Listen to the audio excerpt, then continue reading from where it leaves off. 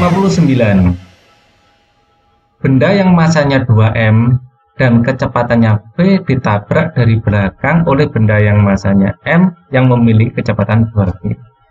Paling enak kita ilustrasikan dulu. Benda yang masanya 2M ini saya gambar agak besar. Ya, ini 2M. Nah, kecepatannya adalah V ditabrak oleh benda yang masanya M, kecepatannya adalah 2V kedua benda sama-sama bergerak ke kiri setelah tumbukan ya. Jadi setelah tumbukan ya baik yang besar maupun yang kecil bergerak ke kiri ya. Kedua benda sama-sama bergerak ke kiri. Nah ini gambarnya kebalik ya. Ini saya gambarnya ke kanan ya. Jadi ya lebih baik eh, dari awal saya perbaiki aja gambarnya Nah, ini uh, masanya ini kiri. Nah, ini M bergeraknya ini tadi ke sana sebesar V dan ini besarnya adalah 2V. Nah, biar sesuai dengan soal. Ya, setelah tumbukan keduanya sama-sama bergerak baik yang besar maupun yang kecil bergerak ke kiri. Ya, ini yang 2M, ini yang M.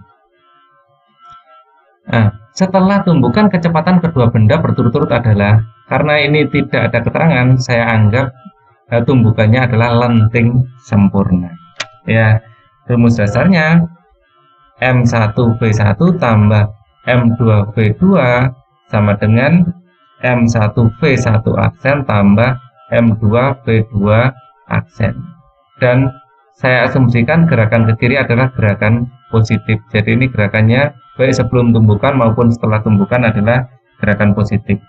Ya, ini 2M kali V, ini M1, ini M2 ya. Ini adalah M1, ini adalah M2. 2M kali V tambah ya M kali 2V sama dengan 2M kali V1 aksen tambah ini M kali V2 aksen ya. Maka ini yang ini kita jumlahkan dulu biar enak. Jadi ini 4 MV ya sama dengan ya. Ini adalah V1 ini V2 sebesar, eh, ini sebesar V dan 2V ya. Jadi langsung ini sudah sama sama-sama V 4 MV sama dengan M dikali ya 2V1 tambah V2 ini aksen ya setelah tumbukan. Nah seperti ini. Ini M nya bisa kita coret ya maka 4V sama dengan ya 2V1 aksen tambah V2 aksen ya. Kemudian karena ini lenting sempurna maka V2 aksen dikurangi V1 aksen dibagi V2 min V1 sama dengan min 1 atau ini kalau kita kalikan silang ke sini ya. V2 aksen min V1 aksen ya. V1 aksen sama dengan nah ini jadi V1 kali dikurangi V2 V1 dikurangi V2 ya. Maka eh, V1 dan V2 nya V2 ini kan 2V, V1 adalah V ya, dapatkan dari kata ini. Jadi V2 aksen min V1 aksen, ini V1-nya adalah V, ya, V2-nya adalah 2V, ya. Maka V2 aksen min V1 aksen, ya, ini sama dengan min V. Kemudian kita eliminasi, ya, yang sudah kita dapatkan dari sini dan dari data lenting sempurna ini ya.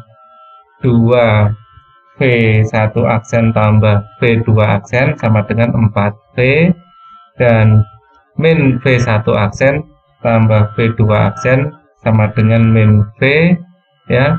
Biar V2 nya hilang kita kurangkan. Ya maka 3V1 aksen ini akan sama dengan uh, eh, 5V ini dikurangi ya. 5V maka V1 aksen ini sama dengan 5 per 3V ya.